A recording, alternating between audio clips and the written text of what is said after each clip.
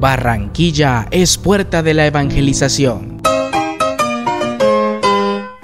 Quien conoce la hermosura de sus calles y la calidez de su gente, siempre dice, en Barranquilla me quedo.